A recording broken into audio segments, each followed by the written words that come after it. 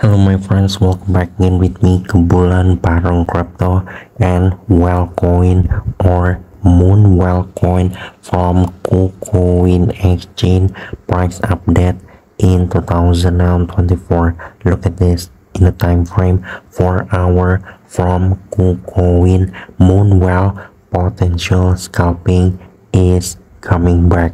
Kalau kita lihat potensi daripada Moonwell atau Wellcoin di market kali ini yang lagi dan lagi harus mengalami dump bahkan Bitcoin sendiri turun di sekitaran minus 5 persenan. Apakah market masih sangat-sangat menarik untuk scalping?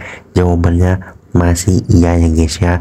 Dikarenakan September ini di mana di kalender market selalu menjadi September atau bearish yang terjadi di September ini. Benar-benar wajar untuk potensi daripada Moonwell untuk update terbarunya kali ini. Mungkin scalping untuk shortnya terdekat bisa mendarat di sekitaran 0,024 sampai maksimum yang ada di sekitaran 0,025 mungkin target scalping untuk Moonwell ini di sekitaran sini potensinya masih sangat-sangat realistik. Sembari menunggu market kembali pulih dan menghasilkan bull spam yang membagongkan seperti sebelumnya.